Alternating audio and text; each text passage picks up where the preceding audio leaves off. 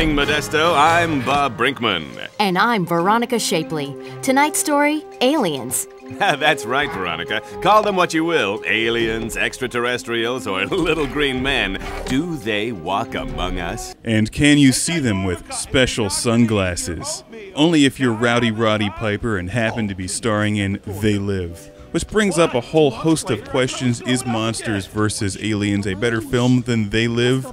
I guess it doesn't matter, but they never made a video game based off of They Live, and that's that's disappointing. What do you say, Doc? That we're not sensitive? Uh, wow, got a little gill in on that one. They do make a video game complementing or based off of Monsters vs. Aliens, and I've previously reviewed this for the Xbox 360. And in my 360 review, I go into more detail on the gameplay and the storyline, but I really like this game.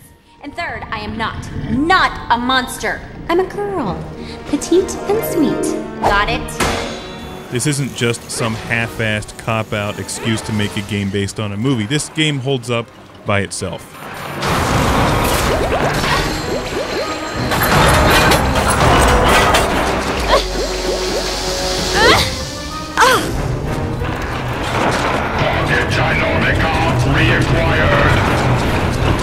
A stigma that is always attached to Nintendo Wii games that appear on other game consoles is that they are simply shoveled over to the Wii and suffer horribly because of it. So, is Monsters vs. Aliens less of a game because it's on the Wii? And the answer is no. Actually, it's pretty much the exact same game. The missing link. Be careful with those red crates. They could easily explode.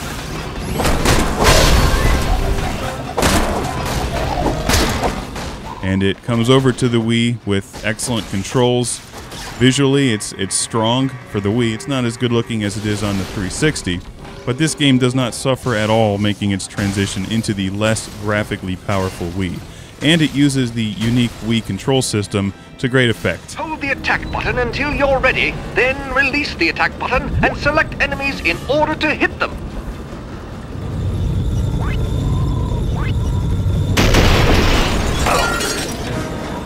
So good news for everybody who enjoyed the Monsters vs. Aliens review on the 360 and uh, has a Wii instead of a 360. You'll be very happy with this game on the Wii. Break the crates by shaking the nunchuck. In fact, it's one of the better looking, better games on the Wii that I've seen recently. It's a lot of fun. If you want to learn more about the overall game, watch my 360 review. But in short, you play as characters from the game, each of whom has different skills, and the game has many different forms. It doesn't just stick with any one genre or style of gameplay.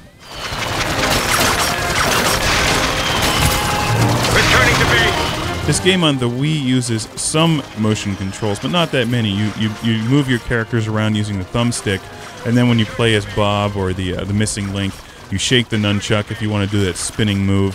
Scenes like this one where you're shooting things actually work better with the Wii than they did on the 360 because you point at the screen like it's a cannon or a gun.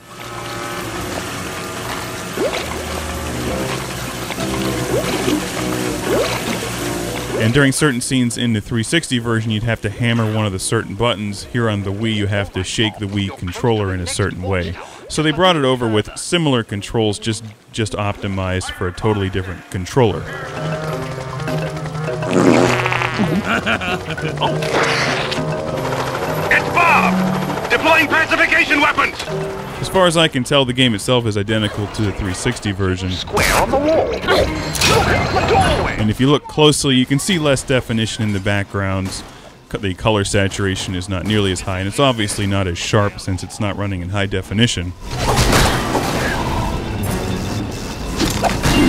Never mess with the missing link. But since this is a very cartoonish game and it has a very high contrast, overall smooth look to it without a whole lot of ultra realism, it doesn't have any of those serious problems coming over to the Wii that some other games might. So that's uh, that's a short review here of the Wii version. I'm still playing my way through the through the version on the 360, which I personally prefer just because it's a better looking game. But if I didn't have a 360 version, I would play through the Wii version.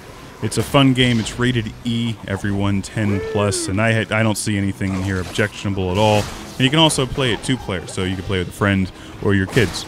And that is Monsters versus Aliens for the Wii.